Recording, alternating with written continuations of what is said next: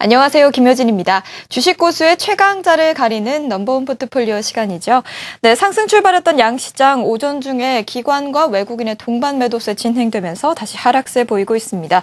네, 미국의 고용 지표와 우리나라의 중, 부동산 경기 관련 대책 이 두 재료를 좀 살펴봐야 할 것으로 보이는데요. 이 넘버원 포트폴리오는 이 시장에서 어떻게 대처하고 있을까요? 지금부터 함께 살펴보시죠. 네, 안종수 차장 14.42%로 수익률 1위 기록하고 있습니다. 임상국 연구위원은 13.98%로 바짝 추격하고 있고요. 다음 보시면 김우식 차장도 10.67%로 수익률 좋습니다. 이종일 차장 2.43%로 4위 기록했습니다. 네, 종목 순위도 이어서 보겠습니다. 네, KMW 지난주에 이어 1위 지키고 있는데요. 14.58% 기록했고요.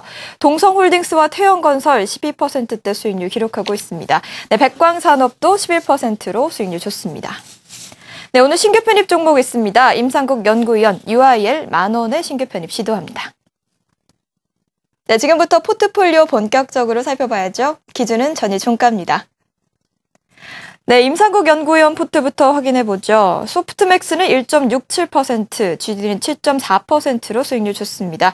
비상교육도 1.96% 수익률 기록했고요. 다음 보면 아바텍은 3%대 수익률 기록하고 오늘 UIL 신규 편입 시도합니다. 네, 안중수 차장 종목도 보겠습니다. 전반적으로 수익률 좋은 편인데요. 건설 관련해서 태영건설 12.36%로 오늘도 기대되는 종목이죠. 백광산업은 11% 기록했고요. 사파이어 테크놀로지는 8.18% 기록했습니다. 네, 다음 보면 게임빌 지난주에 신규 편입했죠. 1.1% 수익률입니다. 네, 이종일 차장 포트폴리오도 확인해 보죠. 아바코 9.33%, 동성홀딩스 12.96%, 파라다이스 7.88%로 이 세 종목 모두 수익률 좋습니다. 다음 보면 미디어플렉스는 0.7%로 다소 보합권에 머물러 있고요. 네, 다음 보면 마지막으로 김우식 차장 종목 확인해 보겠습니다. 서울 반도체는 7.04%, KMW 14.58%로 수익률 좋습니다.